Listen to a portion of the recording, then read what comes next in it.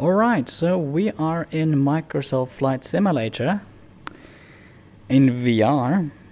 We're gonna try a little, or actually a very handy little tool for uh, Steam VR called Reality Mixer. Now, some of you are probably already familiar with using mixed reality uh, for a flight simulator and how that can actually improve your experience. Some of you have probably seen the very high-end Varjo XR3 headset, for example, that has the pass-through cameras. And those pass-through cameras allows you to inject video in certain parts of your virtual experience, which in something like a flight simulator is extremely useful because then you can bring real things into the simulator such as charts or checklists, notepads, it's just a very, very good way to, to bring something real into the virtual experience.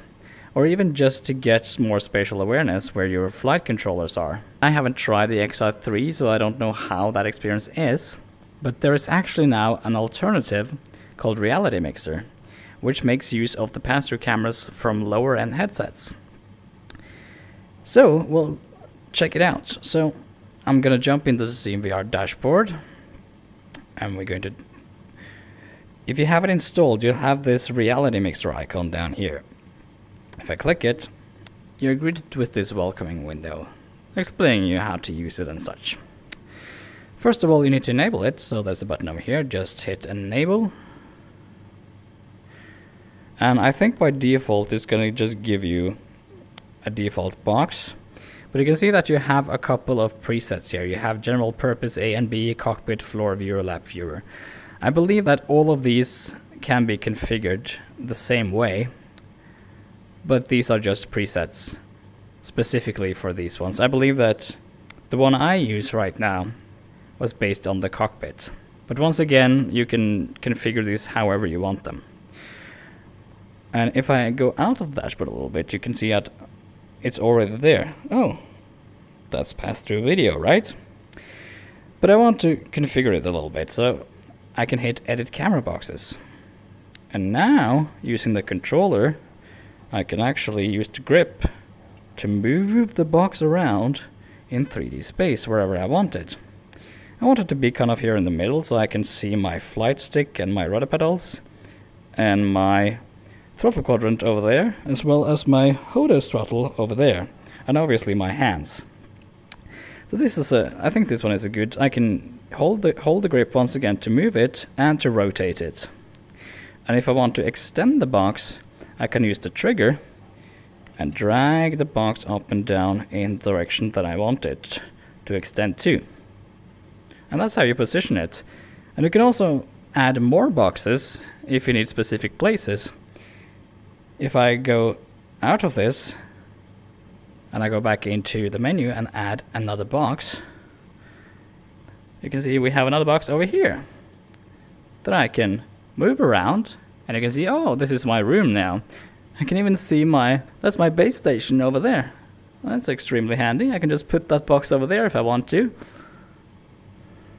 And you can also edit these boxes using the keyboard. But because my keyboard is all the way over there, which you probably can't see because the menu is in the way, so I'll move that menu over there. But my computer is all the way over there, and so is my keyboard. I have no keyboard on this motion sim rig that I'm using. So for me to use a controller is the most handy. I also use this controller here for motion compensation, which means it's going to be mounted in place. I need to enable that after I finish Reality Mixer. But once you have placed the boxes where you want them in 3D space, you don't really need to mess, mess around with them anymore. So I'm just going to delete that small box. I don't need it and we'll just position this one again.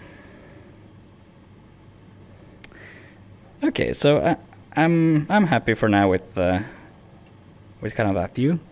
If I go into the because now I'm editing this specific box, there are a couple of settings that I can use. These ones I can level the box. See if that helps. Yeah, that leveled it just make it straight. That's kind of good. You can also attach it to a track device. If I wanted to, I could attach it to my controller. Let's see what that looks like. And do knuckles right, attach, And now it's attached to my controller, like this. Which is not really something that I want, because uh, once again I want to use this controller for motion compensation. But you have the ability if you want to. And I can talk about a little bit later how that could be useful. To go to the next page, we have a couple of options that we can act activate it by proximity. So if we're close to it, it can either fade out or fade in. And that can be either if it's close to the headset or the controllers. It can also be activated by gaze angle. So if you're looking down on it, it can be then activated or deactivated based on what you need.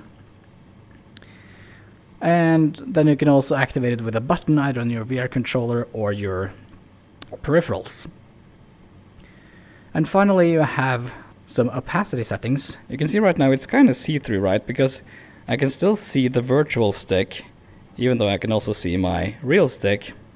And I could make this 100% opaque on both, which is also pretty cool. But now I can't see my virtual view underneath anymore. And that could be a problem if the box is on top of something you need to interact with. If there's a button or something down there that I actually want to see, or a panel, then I need this to be a little bit transparent.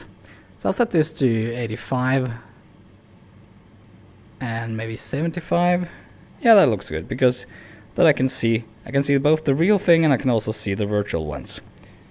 That's my kind of hard time seeing the uh, HOTAS stick over here but this also depends on the lighting in your room. Right now it's pretty dark because it's uh, late evening.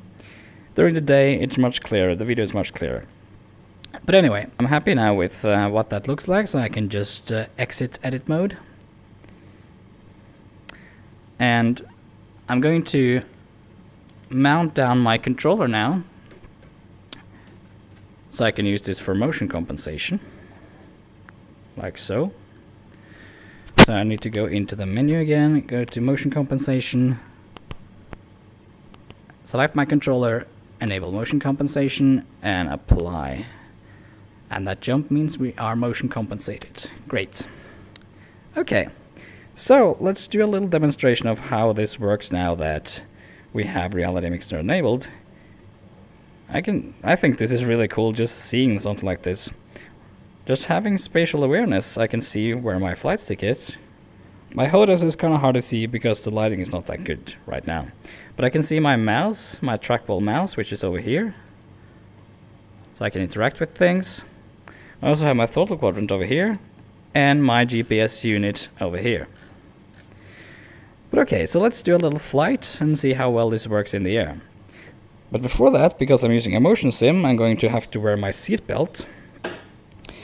And because I have Reality Mixer enabled, I can actually see what I'm doing, which is extremely handy. So, just gonna fasten the seatbelt. Oh, it was locked in place. There we go. And I also need to put on my my shoulder harnesses. And you can actually see me doing that. How lucky are you? So that's my shoulder harnesses on the left and right. There we go. And I guess it's kind of hard to see right now because it's so dark, but hopefully it comes across good on the video. So, just going to get the shoulder harness in there and tighten the straps like this. And we're strapped in tight, so let's go for a flight. We don't need any flaps today, the cub is going to get in the air in no time because it's a cub. So let's go, shall we? And see how well this is going to be in the air. And we'll demonstrate some useful parts with Reality Mixer and I'll also talk about upcoming features in the future. But let's just concentrate on the takeoff now so I don't mess it up. Because this is a very short grass strip. And we took off in no time at all, because this is a Piper Cub and it's great. Right, so now we are in the air. I can probably speed up a little bit. Almost stalling there. But yeah, this is pretty great. As you can see, we are climbing out and I can see my hands and my stick. So we're just going to level out here. I'm going to take my power down a little bit. And we're going to trim our aircraft for level flight. It's a bit bit of turbulence today. I can feel that in my rudder pedals and my sim rig. But we'll see if we can just stabilize it right now so we can start talking about stuff. Okay, so now with Reality Mixer enabled and my airplane being more or less stable, let's see what we can do with this. Okay, since I can actually see something. I have, for example, a bottle down there. Okay, so let's have a little drink. So, and I could do that all without actually taking off the headset or looking underneath it to see where my my hands are and where this bottle is. So that's pretty cool. The other thing I can do is to well so getting spatial awareness using this is really cool. But now I'd like to talk about what or how this compares to like something like the Varjo XR3 or more correctly how it doesn't compare. Because the most glaring issue with these cameras on my headset, which is the Valve Index, is that the quality is not nearly good enough for it to be useful for something like reading text. So, for example, if I was on VATSIM and I need to get my clearance from my controller, I have this notepad and I want to write down my clearance so I can uh, read it back to the controller. You can't really read it that well, right? Because the cameras, the resolution on the cameras are not very great. I mean, they're not really meant to do this stuff. They were just meant to kind of get your spatial awareness uh, so that you bu don't bump into things. That's the whole point of the pass-through cameras. But for something like this, you can't really read it. And that's where I believe something like the, the Varjo XR3 really shines because it they claim to have human eye resolution for the cameras so you can actually read something like this or you could have a a physical checklist a physical chart and that would be great for something like this that's not really going to work so it's not going to give you all the benefits of something like a headset that has high resolution pass-through cameras yet and what I mean by that is that right now it's using the pass-through cameras on the headset. But I have actually been told by the developer of Reality Mixer that the ability to to actually use an external camera will be supported in the future. Which means that oh it's oh it's a lot of turbulence here. If you have a high resolution web camera you can actually use that for the pass-through instead, and if that has higher resolution than this, then you might be able to read text or read checklists or anything like that. That's an upcoming feature that is not out yet, so I haven't been able to test that yet. But if that works, then this is going to be even more useful. Oh shit, it's, it's actually very bumpy up here. And this is just the default uh, preset with with uh, few clouds. I guess it's because I'm flying over some small mountains. They're probably generating a little bit of unstable air up here. But anyway, so while I'm flying here, and I've kind of talked about what you can do with this and what you can't do. This is still in early access, which means all the features have not been released yet. But there are a couple of upcoming features that I think will be really cool. One of them being chroma keying. So that you, if you have a green screen, you can actually mask out your peripherals if you have that in front of your peripherals. So you don't really need to have a semi-transparent box like this. You can actually start to mask things out. How well that's going to work, it's going to depend on the cameras. And it's probably also going to depend on, on your light, lighting, right? Because you're, you're doing chroma keying. But I'm very excited for uh, external cameras to be supported because I want to see how well that resolution is going to be compared to this. And that's one of the, uh, the drawbacks with this app. It will support the Valve Index, which I'm using. It will support the HTC Vive and the Vive Pro, and I believe all the Windows Mixed Reality headsets. And the reason why it doesn't support something like the Quest is because it can only support. Oh my, that's beautiful. Sorry. It can only support headsets that allows a third party to access the uh, the pass-through cameras. And unfortunately, you can't do that on uh, the Quest 2, I believe. So that's not going to be supported. But another catch is that there is no reason to believe that the pass-through cameras on the Quest, Quest is like any better than this. And I believe that some of the cameras on the mixed reality headsets are actually monochrome, so you don't even have color. So once again, I'm very excited to see if external cameras can actually make, make this more useful and actually give you higher resolution inside Reality Mixer, but time will tell. When that feature is out, I, I will test that and demonstrate it. Um, yeah, so, so there's that. Very cool little app. But, I mean, once again, you won't be able to read anything, but the potential this has for the future, right now it's very good just to get spatial awareness, seeing your hands and seeing your flight controllers. But in the future, once again, you can type down instructions using notepads. Or if you have a tablet, you could probably use that to have your checklist, your flight tracker and everything. You could use that on uh, with this reality mixer. Whoa, whoa, whoa, whoa! It's it's very bumpy up here.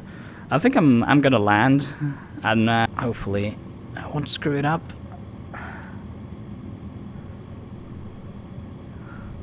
Alright, we're at left base.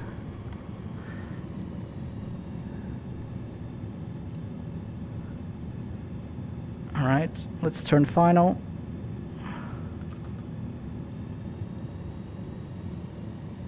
It's looking good, everything is looking good. Final stage of flaps. It is final stage of flaps, okay. Okay, we're a little bit fast. Let's get that speed down. Try to not screw up the landing too much. I'm gonna shut up. I'll do this. Okay. Here we go, that wasn't so bad. And I can tell because, uh, once again, I'm using a motion simulator, so if I would have felt that if that was really bad. But I only felt a slight little bump. So, very happy with that landing. Wasn't too bad. Okay, so let's park up our aircraft over here, shut down, and, uh, and close.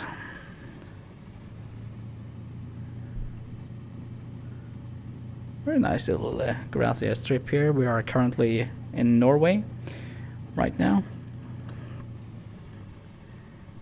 Okay. And here we are. Let's uh, shut off the engine. Here we go.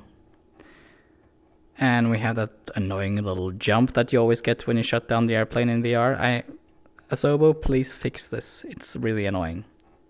But yeah, that's Reality Mixer. So, let's take off the seatbelt. Have another victory drink since we survived this trip.